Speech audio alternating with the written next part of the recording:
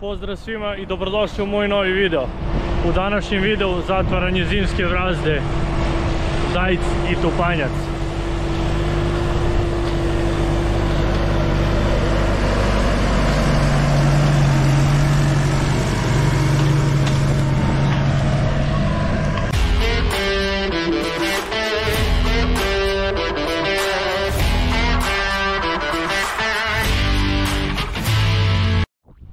Nalazimo se na pola puta između Batočine i Jagodine. U ovom delu ima nekih 20 hektara na kojima treba da se zatvori vlaga. U ovom klipu kao što možete vidjeti tupanjac 5,5 metara i dajc 125 konja. Po meni idealna kombinacija.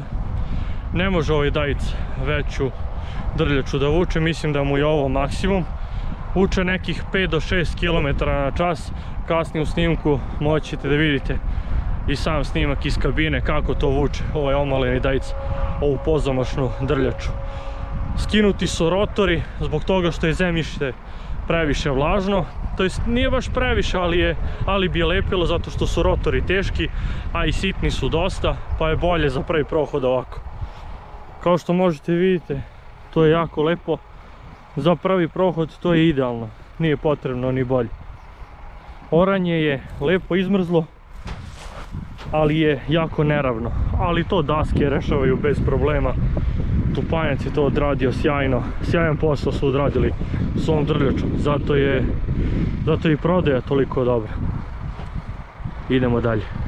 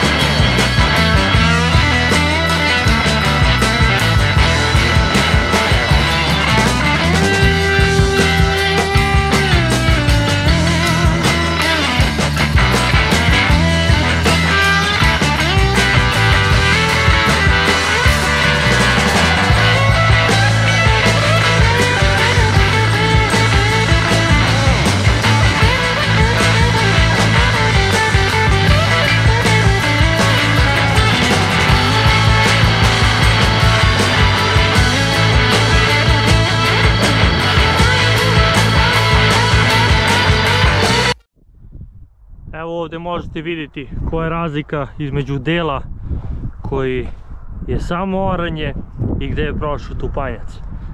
Razlika je ogromna i što je najbitnije postoji taj vazdušni sloj. Vidite koliko je meni propala patika. To je najbitnije da zemlja ne bude jako utabana zato što će biti kasnije problema prilikom setve ili prilikom drugog prolaza ali jasno se vidi razlika kako to lepo tupanjac radi. Sa rotorima bi bilo puno bolje, ali kao što sam malo pre rekao, zemlja je još dosta vlažna. Vidite kako se to pravi, kao glina je neka. I to je smrt za rotore. Rotori bi zagušili i tu ne bi bilo posla, samo bi čistili rotore ceo dan.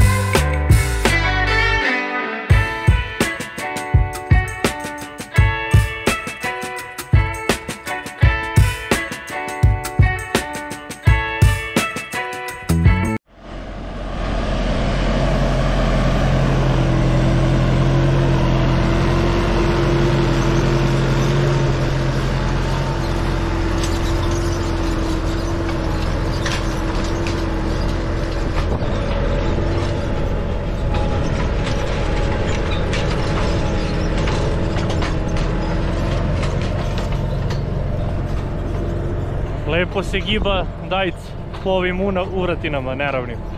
Dobar je to traktor, dobar je. Šteta što ga ovaj majstor nešto ne voli, ali zavolet će ga polako. Nema drugi izbor.